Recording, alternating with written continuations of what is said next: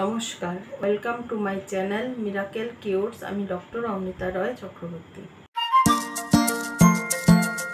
রোজকার ব্যস্ত জীবনে নানা বেনিয়মের ফলে আমাদের রক্তচাপের উঠানামা প্রায়ই দেখা যায়। অনেকেই মনে করেন যে উচ্চ রক্তচাপ থেকে নিম্ন রক্তচাপ কম ভয়ের। কিন্তু তা নয়। নিম্ন রক্তচাপ বা লো ব্লাড প্রেশারের ফলে হৃৎপিণ্ড, মস্তিষ্ক এবং শরীরের অন্যান্য অংশে রক্ত সঞ্চালনের পরিমাণ কমে যায়। ফলে মাথা ঘোরা, দুর্বলতা এমনকি বমি বমি ভাবও দেখা যায়। হঠাৎ করে যদি কারোর প্রেশার কমে যায়, তবে সাথে সাথে চা বা কফি পান করুন। যদি চা, কফি না থাকে, নুন চিনির জল খান বা এক চিমটে নুন জিভের তলায় সাথে সাথে দিয়ে দিন। তাতে ব্লাড প্রেশার কিছুটা বেড়ে যাবে।